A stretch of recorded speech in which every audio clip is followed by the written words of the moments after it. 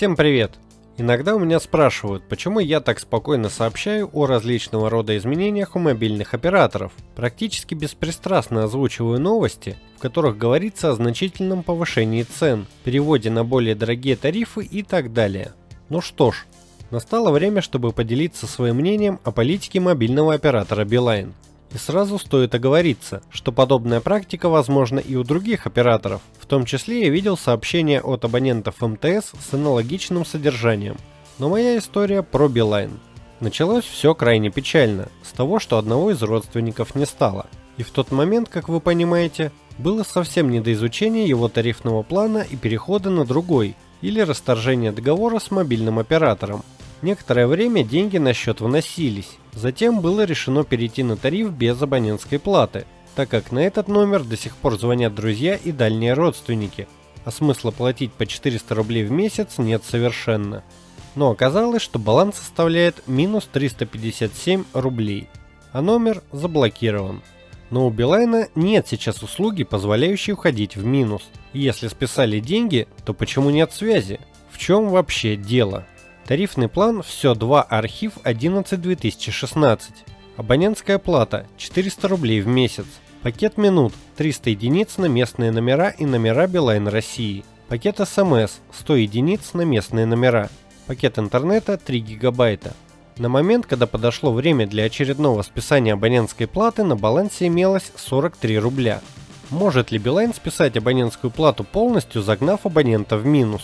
Услуги соответствующие у Билайна на текущий момент нет. В разделе «Подключенные услуги» тоже ничего подобного не обнаружилось. На всякий случай было проверено описание тарифа в мобильном приложении. Абонентская плата 400 рублей в месяц. При переходе на тариф ежемесячная плата списывается сразу в полном объеме. Пакет услуг предоставляется полностью. Последующее списание абонентской платы и начисление пакета услуг осуществляется ежемесячно в день перехода на тариф. Здесь про отрицательный баланс ничего не сказано. Зато сказано, что одновременно со списанием абонентской платы происходит начисление пакета услуг. И это действительно так. Абонентскую плату списали и даже начислили пакеты, но номер при этом получил блокировку из-за минуса на счете, который, в свою очередь, появился из-за списания абонентской платы. Неплохая цепочка, правда? Но мог ли Билайн загнать в минус для начала рассмотрим документы на официальном сайте, а затем перейдем к законодательству. В описании тарифа на официальном сайте внизу в разделе «Дополнительная информация» указано, если на балансе недостаточно средств для списания абонентской платы, доступ к пакетам минут, смс и интернета блокируется. Вам доступны только входящие звонки. Пакеты станут снова доступны после пополнения баланса. Имеется в виду блокировка номера до пополнения баланса, то есть абонентская плата не списывается. Далее идет как раз информация о том, что за дни блокировки Билайн все-таки снимет деньги.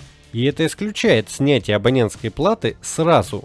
Здесь я бы мог сказать, что каждый дурак это поймет, но, как говорится, нельзя недооценивать исключительных специалистов. По мнению особенного, если на балансе недостаточно средств для списания, то происходит списание. В ответе есть небольшой спойлер про блокировку, но об этом чуть позже. Изначально расчет был сделан на то, что на сайте информация верная, и зря. Как вы можете заметить, чуть выше отрывка про недостаток средств на балансе написано, что абонентская плата списывается ежесуточно по 13 рублей 33 копейки. И это абсолютно точно не соответствует действительности. Абонентская плата на тарифе списывается раз в месяц. Сумма 400 рублей. Теперь заглянем в подробное описание тарифа в PDF-файле.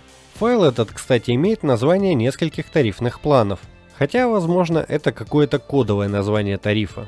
Итак, в примечании номер 2 написано Последующее списание ежемесячной платы и начисление пакетов минут, смс и интернета осуществляется каждый месяц, начиная со второго, в полном объеме, в день, соответствующей дате подключения перехода на тариф – независимо от количества средств на счете.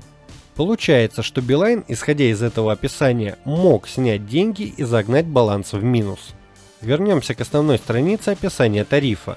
В ее адресе, кстати, фигурирует другой тариф. Все за 300, 10 2016. Но на странице описание другого тарифа. В чем же дело? Скорее всего, Билайн, когда занимался архивацией и перетасовкой тарифных планов, просто не изменил дополнительную информацию. Но легче ли от этого абоненту? Чтобы понять условия предоставления услуг, нужно проводить детективное расследование?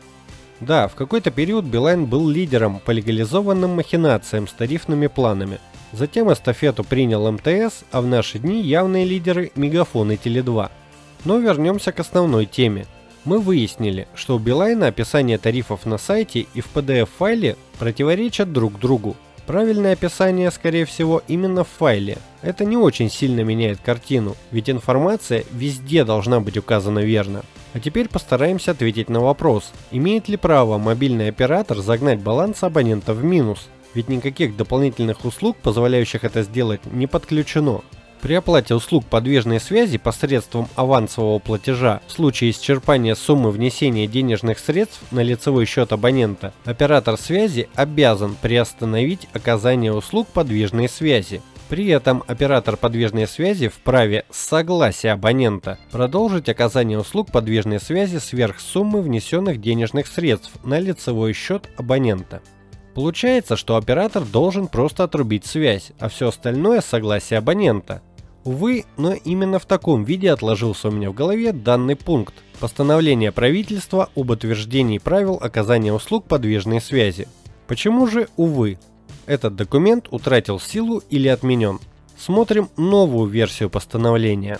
При оплате услуг телефонной связи посредством авансового платежа услуги оказываются в объеме внесенных абонентом денежных средств. В случае исчерпания аванса оказание услуг телефонной связи приостанавливается без предварительного уведомления абонента.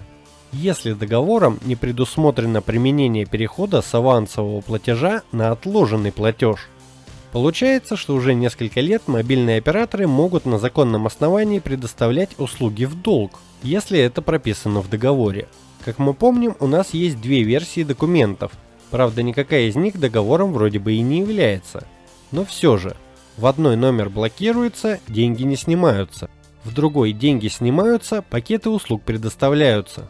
И небольшая пометка. Я не уверен насчет того, что под отложенным платежом понимается именно минусовой баланс абонента. Но будем считать, что это так. Вроде бы разобрались. Билайн предоставил на официальном сайте некорректную информацию, вводящую в заблуждение, вследствие чего смог изъять средства у абонента. Само изъятие можно назвать законным, так как постановление правительства позволяет это сделать. Но что если учитывать обман абонента, намеренный или специальный, путем размещения дезинформации на официальном сайте? Можно также привести интересную формулировку из мобильного приложения Beeline – вы не оплатили счет и номер заблокировался. Пополните баланс. Напомню, что по закону допускается применение перехода с авансового платежа на отложенный платеж. И что-то мне подсказывает, что слово «платеж» подразумевает оплату. Получается, что с баланса списали абонентскую плату, которая не является платежом? Ну да ладно. Дело в том, что это еще не все. Мы видим, что номер заблокирован. И как же так получается? Абонентскую плату списали, а номер заблокировали. В техподдержке сообщили, что номер заблокирован корректно. Плата списывается в полном объеме, поэтому возможен единоразовый уход в минус.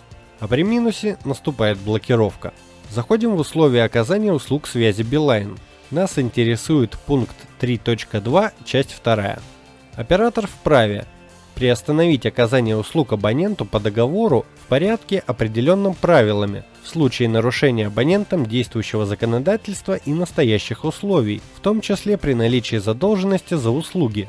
Возобновление оказания услуг производится после полного устранения нарушений. Действительно, если баланс абонента находится в минусе, то Билайн его блокирует, а возобновление происходит после оплаты долга. На этом вроде все. Но остается несколько вопросов.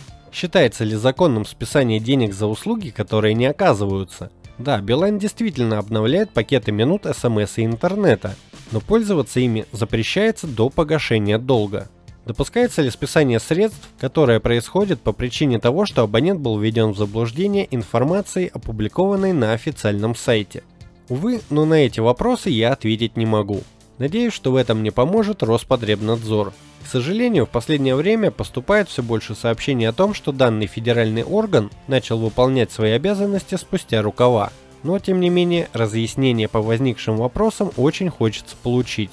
Выводы. Надеюсь, что данный материал показался вам, если не интересным, то хотя бы полезным и продемонстрировал некоторые возможности мобильных операторов, исходя из условий договора и постановления правительства Российской Федерации о порядке оказания услуг телефонной связи, а также показал наличие неверных описаний тарифов на официальном сайте.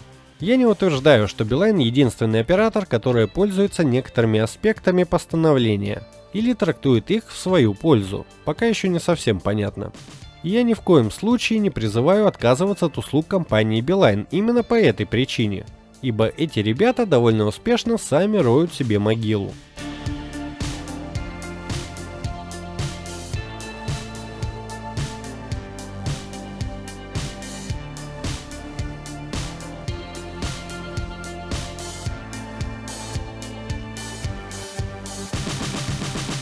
Москве и области, где очень много абонентов с очень недешевыми тарифами, минимальная абонентская плата по пакетному тарифу составляет 700 рублей в месяц. Если Билайн решится на то, что давно не делал, а именно на полное закрытие некоторых архивных тарифов и перевод абонентов на другие, то...